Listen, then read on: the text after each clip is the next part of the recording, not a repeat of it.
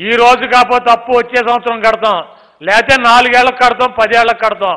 ఇక్కడ ఆర్థిక ఇబ్బందులతో ఉన్నటువంటి రాష్ట్రం అని చెప్పి ప్రజలు ఇబ్బంది పడతాంటే చూడనట్టు నీకు మళ్ళీ దొంగ మాటలు చెప్పేటువంటి వ్యక్తి జగన్మోహన్ రెడ్డి గారు కాదు కాబట్టి ఎన్టీ రామారావుకి రాజశేఖర రెడ్డి గారికి వారసుడు కాబట్టి పేద ప్రజల కష్టాలు తెలిసినటువంటి వ్యక్తి కాబట్టి ఈ రాష్ట్రానికి అప్పులు తీసుకొచ్చి ఈ రాష్ట్ర ప్రజల అకౌంట్లకు పంపించి వాళ్ళనే కనీసం ఒక పూట తిండి తినడానికైనా చేదోడుగా తండ్రి స్థానంలో ఉన్నటువంటి వ్యక్తి జగన్మోహన్ రెడ్డి గారు.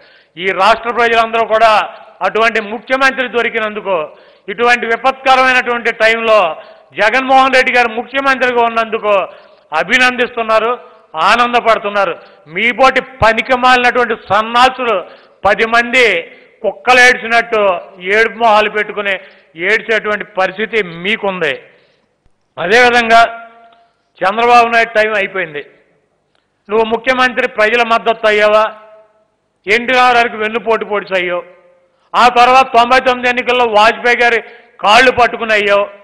ఆ తర్వాత రెండు వేల నాలుగులో రెండు వేల పంతొమ్మిదిలో ఓడిపోయావు పద్నాలుగులో మోడీని పవన్ కళ్యాణ్ సంకనాకి ముఖ్యమంత్రి పదవి వన్ పర్సెంట్ ఓటుతో తెచ్చుకున్నావు. నీ బతుకంతా కూడా టీవీలని పేపర్లని మెయింటైన్ చేయటం. ఈయన కేసులు పెడితే వ్యవస్థలను మెయింటైన్ చేసి స్టేలు తెచ్చుకోవటం నీ బతుకంతా కూడా ఇదే. ఎప్పుడన్నా నువ్వు ప్రజల మద్దతుతో ముఖ్యమంత్రి అయినటువంటి పరిస్థితి ఉందా?